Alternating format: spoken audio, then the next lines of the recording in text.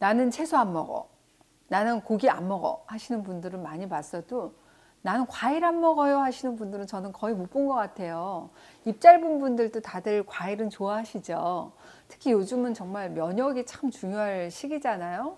우리 면역 체계가 원활히 작동되기 위해서는 미량 원소인 뭐 비타민, 미네랄 이 섭취를 특히나 신경 써야 되는 시기가 바로 이때가 아닌가 싶습니다.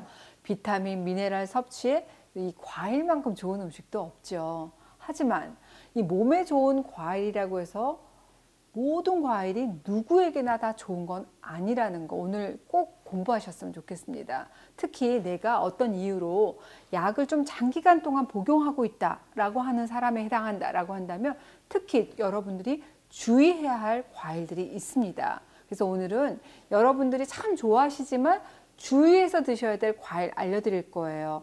주의해서 먹어야 할 과일 첫 번째가 자몽입니다. 달콤한 첫맛 그리고 쌉쌀한 끝맛 때문에 자몽 좋아하시는 분들 참 많으시죠. 저도 자몽을 참 좋아합니다. 이 자몽의 매력인 쓴맛을 대표하는 성분이 바로 나린긴이라고 하는데요. 이 몸속에 불필요한 지방을 태워주는 효과로 많이 알려져 있습니다. 자몽 향은 어때요? 맡기만 해도 살이 빠진다는 연구 결과도 있을 정도예요. 향도 너무 좋죠. 이 자몽 향이 교감신경이 맡게 되면 교감신경을 막 활발해지게 하면서 지방을 태우고 식욕도 억제하는 그런 효능이 있기 때문입니다. 그런데 이게 자몽 먹지 않고 향만 맡기가 정말 더 힘들까 힘들 거, 힘들구나 하는 생각을 해보게 됩니다. 자몽향 샴푸, 자몽향 들어간 비누, 정말 향수 너무너무 좋아요. 여러분들도 자몽 좋아하시는 분들 많으실 텐데 그런데 이렇게 좋은 자몽에 들어있는 이 쓴맛 내는 성분이 간이 약을 분해하는 것을 방해할 수 있다는 겁니다. 자몽의 쓴맛을 내는 나린긴이라고 하는 성분 그리고 나린게닌이라고 하는 성분이 여러 가지 약들하고 상호작용을 일으키는 주요 성분으로 꼽히고 있어요. 모든 분이 다 자몽을 주의해야 되는 건 아니지만 이러이러 이러한 약을 드시고 계시는 분들이 자몽을 드셨을 때는 주의해야 된다 이런 말씀입니다. 네 가지 군으로 나눠 설명드릴게요. 자몽 조심해야 될 분 첫 번째 고지혈증 치료제 드시는 분들입니다. 이 자몽의 쓴맛 성분들이 약물을 분해하는 장내 효소의 활동을 억제해서 영향을 주기 때문에 약물 분해가 늦어지는 상황이 생길 수 있다는 겁니다. 특히 고지혈증량의 대표적인 게 스타틴 계열의 약물들이잖아요. 이게 소장에 있는 특정 효소를 통해서 대사가 진행이 되는데 자몽에 들어있는 나린긴의 효소 억제 작용에 영향을 받기 때문에 대사가 저해가 돼서 심각하게는 횡문근 융해증이라든지 심근병증과 같은 부작용을 야기할 수도 있습니다. 고지혈증 치료제 드시는 분들은 자몽 꼭 주의해서 드시기 바랍니다. 두 번째, 항우울제, 항불안제 드시는 분들도 자몽 조심하셔야 됩니다. 디아제판과 같은 항불안제 있잖아요. 이런 약들은 고지혈증 치료제처럼 특정 효소의 대사를 저해하는 그런 기능이 있기 때문에 두통이라든지 설사, 어지럼증, 또 졸음 같은 이런 부작용의 위험이 높아질 수 있습니다. 약을 드시는 동안에는 가급적이면 이런 분들은 자몽은 드시지 않는 게 좋겠죠. 항우울제, 그러니까 플루복사민 계열의 항우울제는 우리 장에서 특정 효소와 단백질을 통한 대사 배출이 되어야 하는데 이 대사 억제로 인해서 배출이 잘 되지 않아서 약물의 흡수가 증가할 수 있습니다.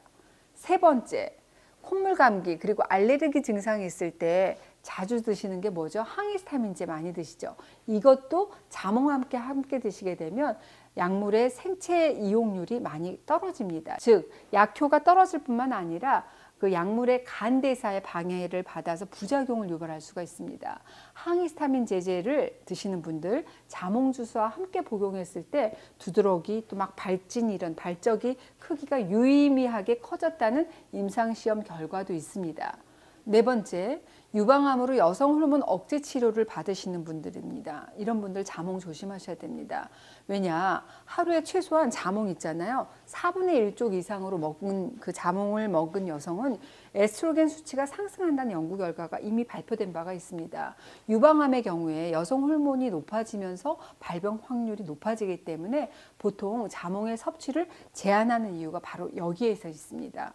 유방암 치료를 받으실 때 자몽 섭취 자제하시는 것꼭 기억하시기 바랍니다. 이런 유방암 치료제 이외에도 몇 가지 항암제 성분이 자몽의 그 성분으로 인해서 대사 활성이 감소될 수 있기 때문에 내가 항암 치료를 받고 있는 중이다 하시는 분들은 반드시 자몽을 내가 먹어도 되는지 그 여부를 어, 주치의와 확인해 보시고 드시는 거 권해드리고 싶습니다.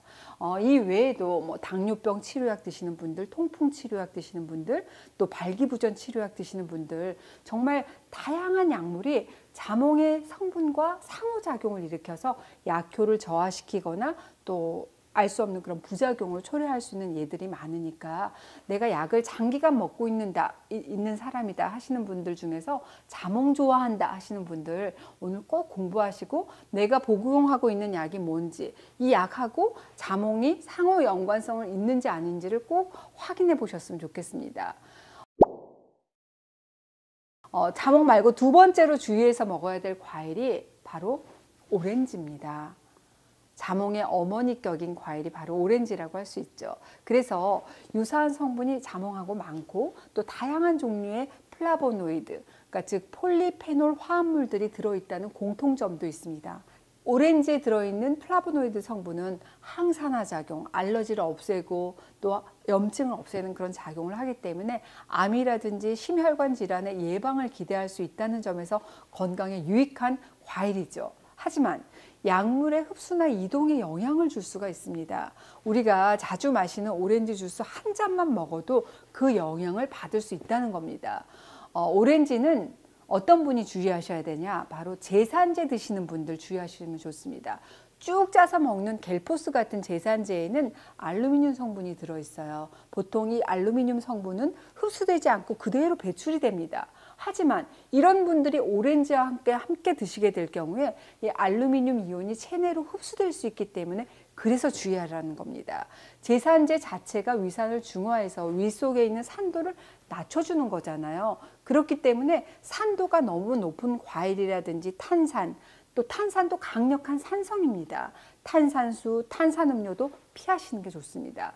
오렌지 주스를 드셨다면 적어도 4시간 정도는 term을 두시는 것이 좋습니다. 주의해서 먹어야 될 과일 세 번째 마지막입니다. 크랜베리 주스예요.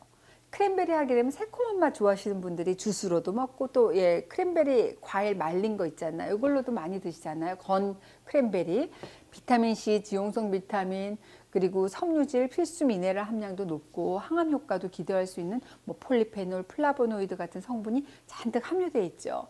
그런데 궤양 치료제 드시는 분들 또 항응고제인 와파린 계열 복용하시는 분들은 크랜베리 주스 주의하시는 게 좋습니다. 신맛이 강하잖아요. 크랜베리가. 이 크랜베리 주스가 pH 즉 산도를 현저하게 낮추기 때문에 약효를 감소시킬 수 있어요.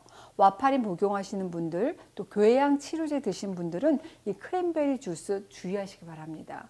이렇게 제가 크게 세 가지 뭐 어, 자몽 그리고 오렌지 그리고 크랜베리 알려드렸는데 이 외에도 참 많이 있습니다. 좀 더 내가 어 궁금하다. 나 약 많이 먹고 있는데 내가 어떤 거 주의해야 될지 과일 어떤 거 주의해야 될지 궁금하다 하시는 분들은 더 자세한 내용이 바로 식약처 홈페이지에 주의해야 될 약물의 목록도 쭉 돼 있고 제약회사까지 다 돼 있거든요. 자세한 설명들 다 확인하실 수가 있습니다. 식약처 홈페이지 알려드릴 테니까 거기 들어가시면 여러분 더 자세히 확인하실 수 있고 무엇보다도 나라를 담당하고 있는 주치 선생님하고 상담하시는 것도 좋은 방법이라고 할 수 있겠습니다. 저는 이 세 가지 대표적인 거 알려드렸지만 어, 과일도 이제 스마트하게 내 몸에 꼭 필요한 비타민과 미네랄이 꽉 찬 과일 골라서 골라서 이렇게 골고루 드시고 여러분들도 저도 건강 유지하셔야겠습니다. 화이팅입니다.